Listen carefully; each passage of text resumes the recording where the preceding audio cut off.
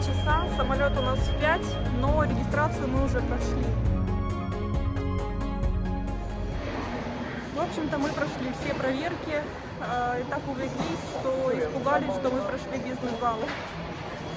А нам дело в том, что э, человек на стриме задонатил и сказал обязательно на эти деньги сходите в бизнес-зал, потому что, ну вот, чтобы вы поснимали, показали людям.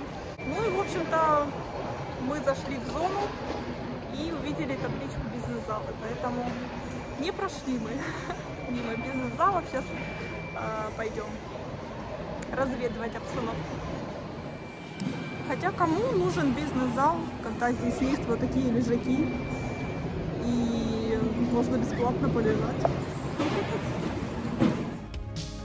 Если честно, я не ожидала увидеть столько всего в аэропорту.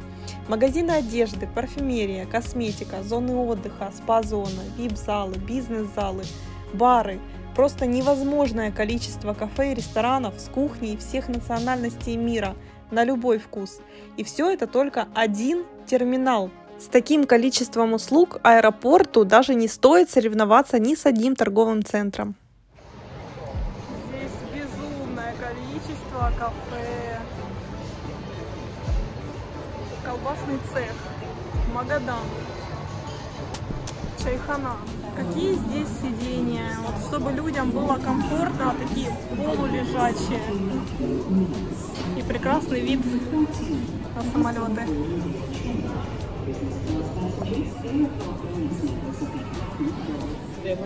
Даже есть курительная комната. Вот он вход. Это да. Такая табличка висит.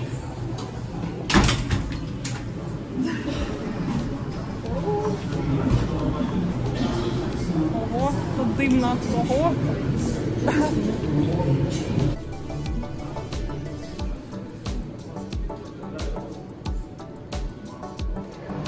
Интересно.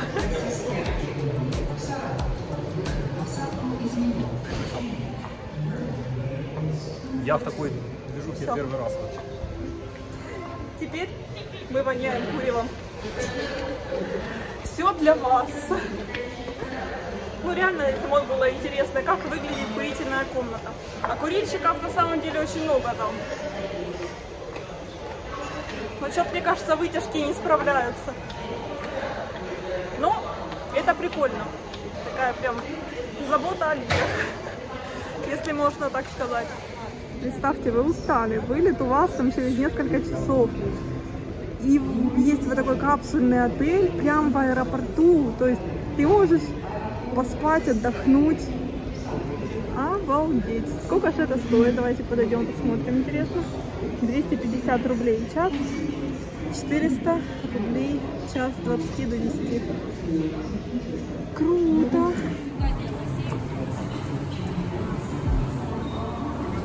Мы пришли к э, лаунж-бару Рублев, посмотрим.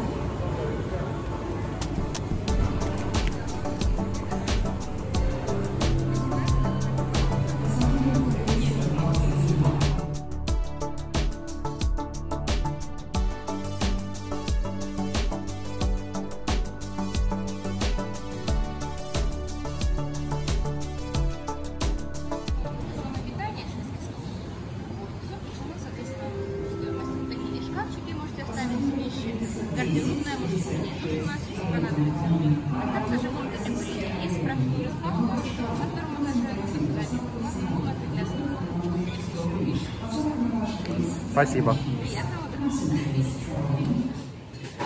Так, а мы зашли в лаунж-зону Рублев. Посмотрим, что здесь предлагают.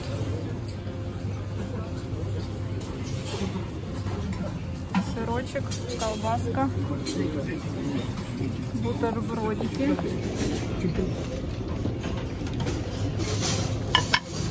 Маффины, пирожные.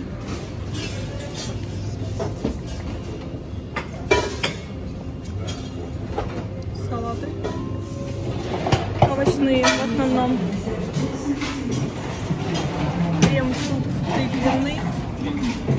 Суп грибной. Солянка мясная. Ой, знаю, что Дима возьмет.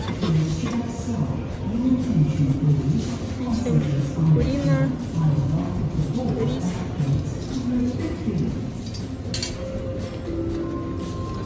Булгур с овощами.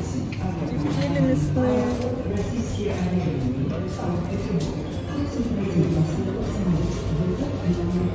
Специальное предложение.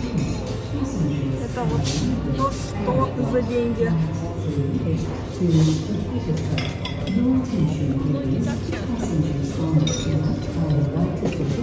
Так, проходим дальше. Копченостями. Котлеты рыбные, не знаю, пока я тут Картофель жареный с грибами и луком. И такие печеньки. И вот снова пошли десерты. Ну, такие мини-салатики. Лазат с индейкой. Интересно. Всякие соусы. Еще сыр и колбаса. И аппетитные булочки. М-м, Круассан есть. Есть водичка.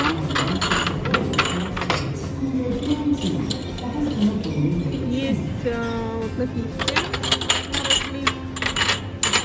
Разлив. Сок яблочный, сок томатный, компот и сок апельсиновый. Есть джем и сахар. И даже молоко есть. Тут Что ты уже ешь? А, секрет. Проблема еще место свободное найти, где посидеть. Да, занято. Мно- Много занято мест, да? Так, ну и чай, конечно же. Есть еще кофе. Круассан уже схватил. Что, круассан? Круассан ни с чем. Схватил уже. На втором этаже тоже есть еда. И такие есть э, зоны отдельные для людей. Вот мы, наверное, с Тимой здесь и усядемся. Можно и телефоны зарядить, даже лампу можно включить. Очень уютно. Класс.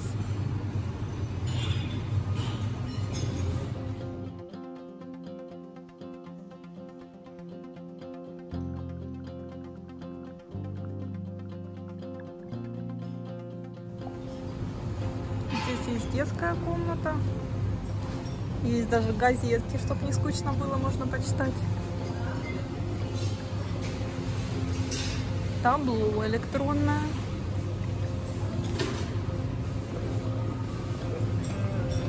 Ничего себе. Пеленальная. Ты. Какая красивая лестница.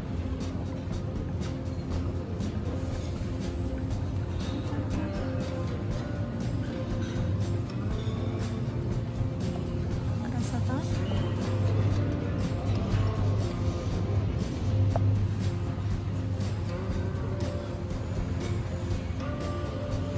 Тоже есть что-то вкусненькое. Суп грибной, жаркое по-домашнему, плов с курицей. Кстати, здесь другое меню, немножко отличается. О, тут даже чипсы есть. Те же булочки, что на первом этаже. В общем-то, я взяла себе солянку, взяла несколько салатов И вот такая вот интересная штука. Тим, что ты взял? Тима взял колбасу, сыр, Салат. салат. Как тебе? Все самое дешевое. Да? Ну, сейчас я буду пробовать. В общем, друзья, отведалась я вот свои салаты.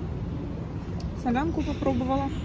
Ну, даже по внешнему виду солянки видно, что она прям, ну, вот вода водой. Прям, ну, мне кажется, что это, это худшая солянка, которую я ела в своей жизни. Маслечко. Хочу попробовать. Круассан. Ну, что-то круассан дубовый. И два кусочка сыра. Ну и, конечно, мы взяли с Симой на пробу вот пироженки. У меня такое чувство, что вот эта булочка вчерашняя, ну, ее есть невозможно. Она уже высохшая вся. А, ну, маффины обычные. Вот это ореховое пирожное вкусное. А, Варенье вкусное и очень вкусное миндальное печенье, которое вот здесь вот лежало, но теперь его нет. Правда, очень вкусно. В общем, бизнес-лаунж – хорошее место, чтобы перекусить чем-то легким, без больших ожиданий. Хорошее место, чтобы просто отдохнуть от шума в аэропорту, потому что в бизнес-зале немного тише.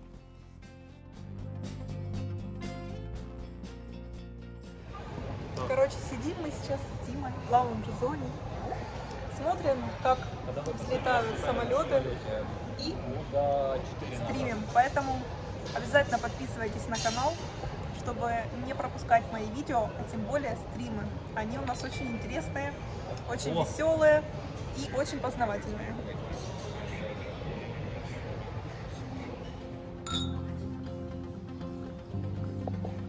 Ну все, на наш рейс объявили посадку, поэтому полетели и в прямом, и в переносном смысле. Кстати, еще один вопрос у меня. Для чего на ровной э, дороге эскалатор? То есть, как бы вот вопросик. Я же говорю, чтобы мы проехались до конца очереди и поняли, что нам надо вернуться и стать в ее конец. Наверное. Но весело едем. Да. Ну, Тима был прав. Теперь мы возвращаемся, чтобы стать в эту очередь. Сегодня, наконец-то, в новой жизни мы э, переведем телефон в авиарежим. Не просто так.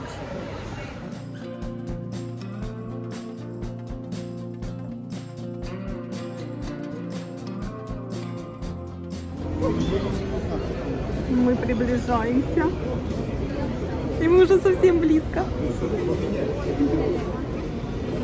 Прикиньте, это лю- люди клубнику везут. Во Владик. Чё мы с собой- чё мы с собой клубнику не взяли? надо было во Владике. Да. Вот она в самолете стоит.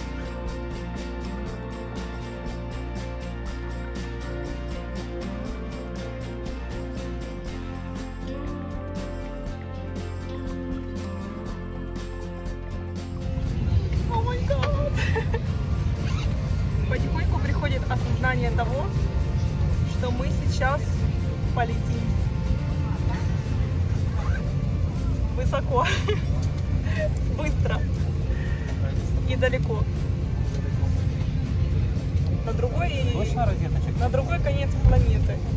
Я сижу у окошка. Помните, да, я говорила, что я купила места, чтобы нам сразу определенно точно попались хорошие места. Вот, но нам в этом путешествии очень везет, поэтому эти места как раз над крылом. Я победитель по жизни. Ну ничего, я не сильно расстроена, потому что все равно будет темно. Ну, мы будем... Говорят, что колбасить будет во время турбулентности. В смысле, колбасить будет? Как в телепатах. Я не хочу. Ну, значит, иди проси в первый класс. А в в первом классе не будет? Простите. Вот это ты мне перед полетом. Молодец. Можно было это не надо.